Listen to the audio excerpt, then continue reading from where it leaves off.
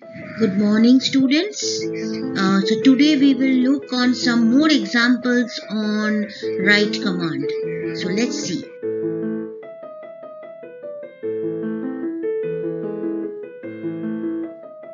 Okay, try to solve this question. Display the words stay and save in same line.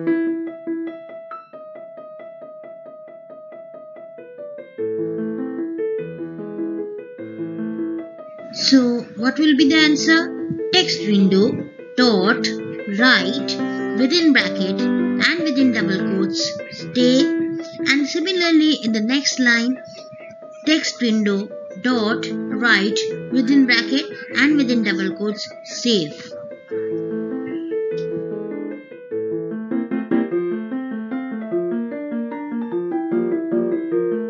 And the output is as shown.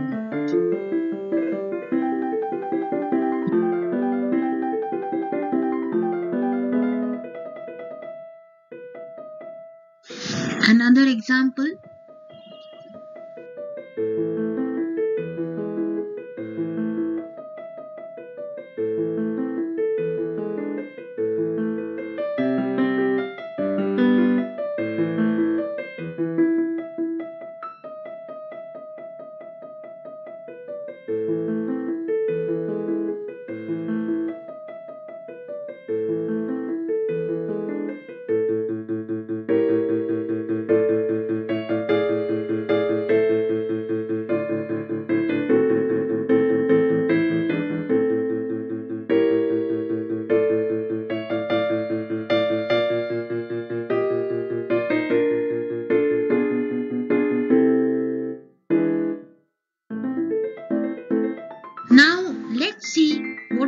variable.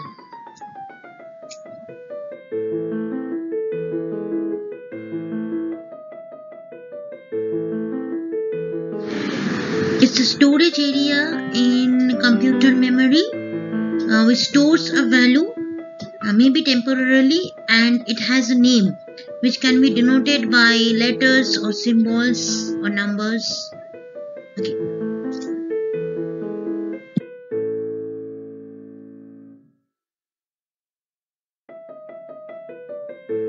Imagine a box where you can store something and whenever it required you can take that thing out from the box.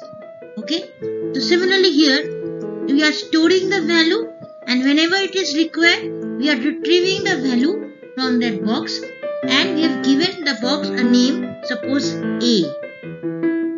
So that is variable.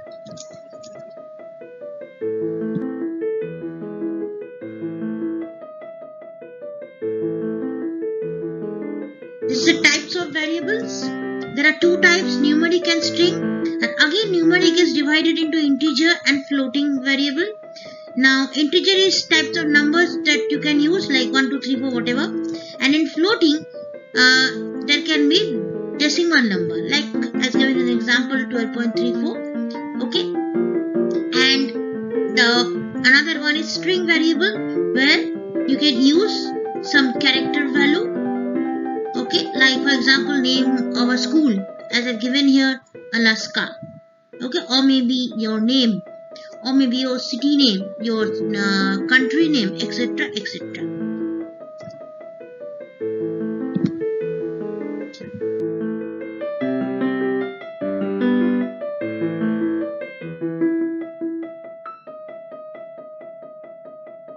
uh, it's a use of variables uh, to display any number or name so let's have a look on a few examples in the following uh, slides.